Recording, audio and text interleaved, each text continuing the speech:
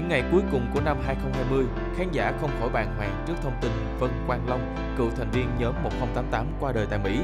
Sự ra đi của cố ca sĩ để lại không ít xót thương cho bạn bè, đồng nghiệp lẫn người hâm mộ. Thế nhưng sau hơn 3 tháng kể từ ngày mất của Vân Quang Long, những ồn ào xoay quanh vấn đề tiền bạc cũng như sự thật về bé Helen, con của cố nghệ sĩ, với người vợ sao Linh Lan vẫn chưa có dấu hiệu hạ nhiệt. Liên quan đến vấn đề này, mới đây bố mẹ Vân Quang Long đã chính thức lên tiếng. Theo đó, kể từ ngày mất của Vân Quang Long, gia đình đã nhờ cơ quan chức năng vào cuộc điều tra. Từ đó có những thông tin chính thức về nhân thân của Linh Lan, người được cho là vợ hai của giọng ca bởi tin lời thề. Một đoạn trong bài chia sẻ này như sau. Về sự giả mạo nhân thân của người tự xưng là vợ chính thức của Vân Quang Long trong thời gian vừa qua, Sinh thời con trai tôi là Vân Quang Long đã có thời gian quan hệ tình cảm với một cô gái tự xưng là Linh Lan. Sau khi con trai tôi mất vào ngày 29 tháng 12 2020 tại Mỹ, cô Linh Lan đã đăng cáo phó công khai trả lời phỏng vấn báo chí, tự nhận mình là vợ chính thức hiện tại của Vân Quang Long, có tên thật là Phan Thị Ngọc Nhi, tên con gái là Lê Helen, mang họ của gia đình chúng tôi. Chúng tôi đã gửi đơn xin xác minh công nhân với cơ quan công an và đã được cơ quan công an chính thức trả lời bằng công văn số 04 trên CV CATT ngày 6 tháng 4 2021. Chúng tôi không được đăng toàn công văn có dấu đỏ vì luật không cho phép. Nội dung trả lời của quý công an xác nhận các nội dung chính như sau. Người tự xưng là Linh Lan có tên thật là Ngô Thị Trúc Ly, sinh ngày 30 tháng 12 1993 tại Vĩnh Long, Quá trình lục tàn thư hộ tịch tình trạng hôn nhân của Ngô Thị Trúc Ly là độc thân, không có quan hệ kết hôn với Vân Quang Long.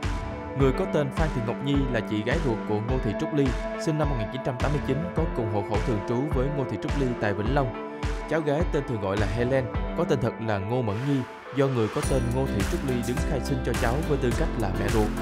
Theo Nghị định số 05 trên 1999 trên NDCB của Chính phủ, một người chỉ được sử dụng một chứng minh nhân dân trong trường hợp một người sử dụng hai chứng minh nhân dân sẽ vi phạm điều 19 Nghị định số 167 trên 2013 trên NDCB của Chính phủ. Theo những chia sẻ của bố mẹ Vân Quang Long, Linh Lan hoàn toàn vẫn đang độc thân và chưa từng đăng ký kết hôn với cố nghệ sĩ như đã trả lời báo chí trước đó. Bên cạnh đó, gia đình cũng thắc mắc không rõ lý do vì sao mà Ngô Thị Trúc Ly tức Linh Lan vu khống cho Vân Quang Long là chồng của Phan Thị Ngọc Nhi, tức chị gái ruột của mình và có con chung là cháu Lê Helen. Cũng tại bài đăng, gia đình của giọng ca Nợ Duyên khẳng định Vân Quang Long đã có vợ chính thức, hợp pháp là Hồng Nguyễn, công dân quốc tịch Mỹ cho tới khi qua đời. Chia sẻ về khoản tiền khuyến điếu trong lễ nhập quan Vân Quang Long tại Mỹ, gia đình nam ca sĩ cho biết, sở dĩ ban tổ chức kiểm đếm, ghi chép cẩn thận các khoản phúng điếu và đến hiện tại mới giải quyết là do nhân thân của Linh Lan không chính xác và phía gia đình cũng không muốn có rủi ro sau này. Nhưng sự thật hay góc khuất về Linh Lan cũng như các khoản tiền phúng điếu, gia đình Vân Quang Long cho biết sẽ đăng tải rõ hơn ở các bài viết tiếp theo. Hiện Linh Lan vẫn chưa lên tiếng về vấn đề này.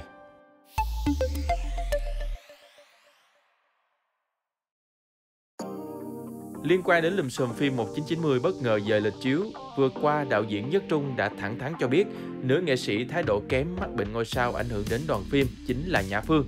Anh chia sẻ công khai điều này với mong muốn sẽ cùng ngồi lại nói chuyện với nữ nghệ sĩ về kế hoạch quảng bá 1990 trong tương lai.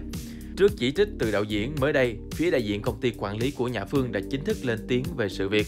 Theo đó, đại diện khẳng định mọi hoạt động của nữ nghệ sĩ liên quan đến phim 1990 đều do công ty nắm bắt và điều phối.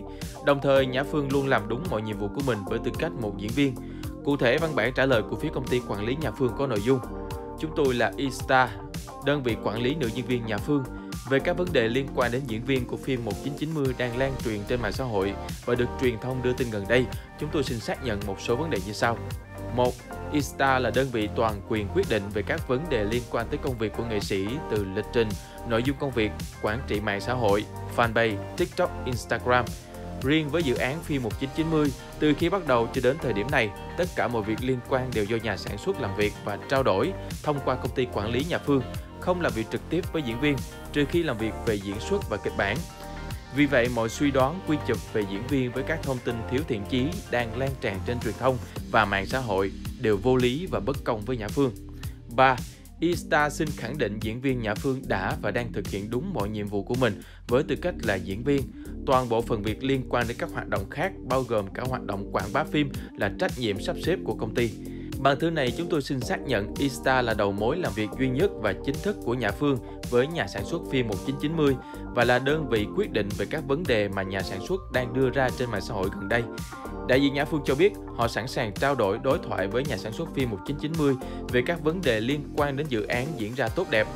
Công việc này được thực hiện chính thức qua các phương tiện thông thường giữa các đối tác với nhau như họp trực tiếp, trực tuyến, email, điện thoại và thậm chí là tin nhắn trực tiếp chứ không thể và không nên dùng mạng xã hội để đưa ra những thông tin chưa đầy đủ và thậm chí thiếu thiện chí. Phía công ty quản lý ngầm chỉ trích thái độ làm việc không chuyên nghiệp của đạo diễn 1990. Đồng thời đại diện Nhã Phương cũng cho biết đến thời điểm hiện tại, họ vẫn giữ liên lạc thường xuyên với nhà sản xuất phim và luôn cố gắng sắp xếp mọi chuyện liên quan một cách tốt đẹp nhất. Cuối cùng họ khẳng định sẽ không phản hồi qua mạng xã hội hoặc các phương tiện truyền thông về thông tin được đưa ra một phía từ nhà sản xuất. Đó là sự lựa chọn trong tác phong làm việc của chúng tôi. Mọi giải thích, phân tích đúng sai nếu có sẽ được xử lý trực tiếp với đối tác. Với từng lời lập luận trong thư ngõ của đại diện phía quản lý của nhà Phương, có thể thấy phía công ty không đồng tình với cách làm việc của đạo diễn phim 1990, đồng thời họ khẳng định muốn trao đổi trực tiếp với nhà sản xuất về vấn đề liên quan chứ không mang lên mạng xã hội. Phía nhà sản xuất, đạo diễn Nhất Trung chưa đưa ra phản ứng tiếp theo về sự việc. Sao star sẽ theo dõi và cập nhật thông tin mới nhất.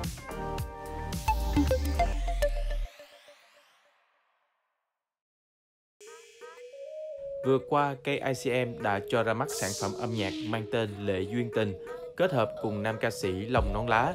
Đây tiếp tục là một ca khúc mang đậm màu sắc âm nhạc ngũ cung mà KICM theo đuổi trong thời gian vừa qua.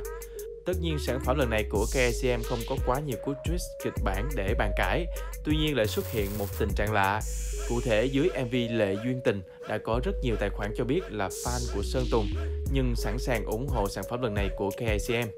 Điều này dường như không quá khó hiểu khi trước đó trên trang cá nhân, Kacm từng bày tỏ sự hào hứng với bản demo Muộn rồi mà sao còn của Sơn Tùng. Đây có lẽ là một trong những lần hiếm hoi nam producer công khai ủng hộ đàn anh, nhất là trong giai đoạn Sơn Tùng và Jack dính nghi án đấu đá khi thông báo comeback cận kề.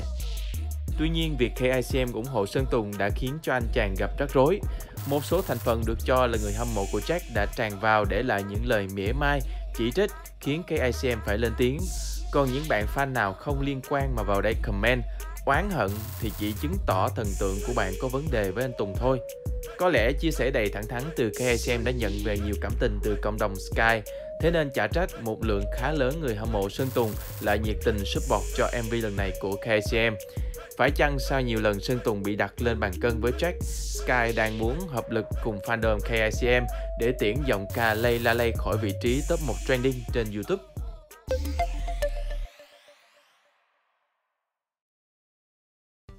Một tuần trở lại đây, thông tin khoa bút một mình bay sang Mỹ giữa dịch Covid-19 đang được cộng đồng mạng quan tâm. Chưa rõ mục đích của chuyến đi, nhưng khoa bút chia sẻ anh sẽ cố gắng cập nhật các video mới dù không có cameraman đồng hành.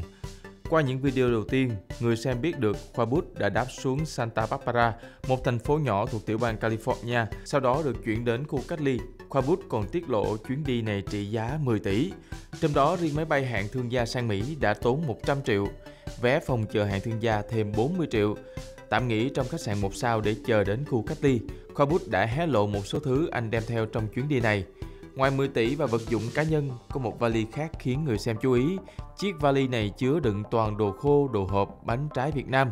Khoa bút tâm sự chuyến đi này biết trước sẽ phải cách ly, ăn uống cũng khó hợp nên anh đã mua cả vali toàn mì gói, phở hộp, hủ tiếu hộp, bánh ngọt, cá hộp, thịt hộp, xúc xích để ăn trong khu cách ly và thời gian đầu ở Mỹ. Nam YouTuber khoe từng món cho người xem. Vừa đến khách sạn tạm trú ở Mỹ, Khoa Bút có một ngày tự do lịch trình trước khi bị cách ly. Tuy nhiên, Khoa Bút cũng không đi ăn uống ngoài mà chỉ ở khách sạn ăn hủ tiếu khô. Anh chàng phải di chuyển sang phòng ăn để lấy nước nóng vì trong phòng ngủ không có phít đun. Có lẽ thấy Khoa Bút lầm lũi tự mình xoay sở trên đất Mỹ, lại mang vali toàn đồ khô, đồ hộp. Nhiều người xem đã thấy chạnh lòng. Không ít người đã để lại bình luận động viên, cổ vũ Khoa Bút trong hành trình này. Sao coi tập này thấy thương Khoa quá đi, đi một mình buồn quá. Ở Việt Nam vùng vẫy qua xứ trơ trọi gì đâu. Đi một mình không có cameraman, không có ai ứng cứu những lúc quên tiền, không hiểu tiếng, thương quá.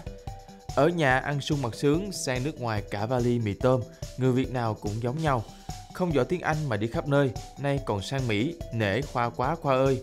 Dù là ai ở đâu thì Khoa Bút vẫn luôn vui vẻ lạc quan trong mọi hoàn cảnh. Và khi chứng kiến anh chàng một mình ở nước ngoài giữa mùa dịch, khán giả Việt càng thêm khâm phục và còn thấy thương cảm. Chúc Khoa Bút bình an và may mắn trong hành trình này.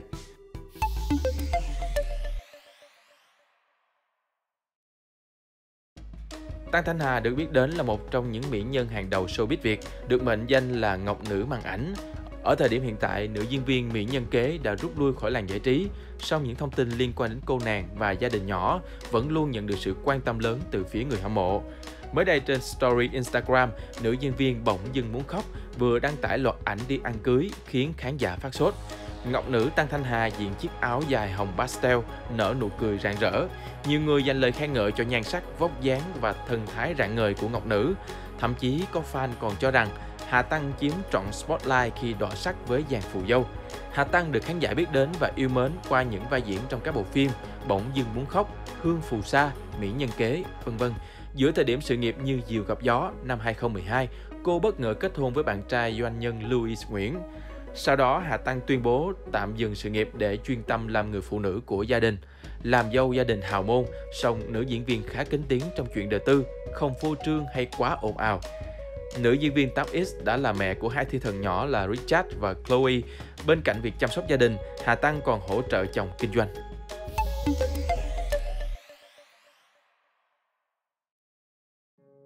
Sự việc cháu N ở Vũng Tàu qua đời do bị sát hại hiếp dâm khiến người dân cả nước quan tâm phẫn nộ nhiều ngày qua. Cho đến chiều ngày 19 tháng 4, Hoa hậu Đỗ Mỹ Linh, Tiểu Vi, Lương Thùy Linh, Á hậu Phương Anh và bà Phạm Kim Dung đã đến tang lễ, gửi lời động viên chia buồn cùng gia đình bé N. Các người đẹp vô cùng xót xa trước di ảnh của bé. Tiểu Vi không kìm được nước mắt tiễn biệt thiên thần nhỏ đã vĩnh viễn lìa xa cõi đời. Trên trang cá nhân, Á hậu Phương Anh nghẹn ngào bày tỏ Cuộc sống đôi khi có những câu chuyện thật đau buồn như chuyện của bé BNQN ở Vũng Tàu những ngày qua. Phương Anh mong em được yên nghỉ, yên bình, mong cho gia đình bé sẽ có được sức khỏe và tinh thần để vượt qua bi kịch này. Thương cho em và gia đình, mong em sẽ là một thiên thần hồn nhiên vui tươi đúng với lứa tuổi của em, em nhé. Đặc biệt Phương Anh đã lên tiếng căng và thể hiện thái độ tức giận với kẻ xấu đã xâm hại bé gái. Cô còn dành lời cảnh tỉnh đến các bậc phụ huynh đang có con nhỏ. Mong pháp luật sẽ có hình phạt nghiêm ngặt để những trường hợp như này sẽ không xảy ra nữa. Câu chuyện cô bé như một lời cảnh tỉnh cho các bậc phụ huynh. Dù bận việc tới đâu, hãy vẫn luôn sắp xếp để có người lớn trong em, chăm sóc em, tránh những hiểm nguy rình rập. Chiều ngày 17 tháng 4, bé N bất ngờ mất tích trong lúc đang chơi trước sân nhà. Ngay lập tức gia đình đã cùng nhau đi tìm cháu gái. Đến hơn 22 giờ cùng ngày, cả gia đình mới phát hiện bé nằm bất động tại một bãi đất trống cách nhà 300 mét. Tuy nhiên đã tử vong. Hiện tại gia đình đang chuẩn bị tổ chức tang lễ cho bé gái, dự kiến rạng sáng ngày 20 tháng 4 sẽ hỏa táng thi thể con ở địa phương.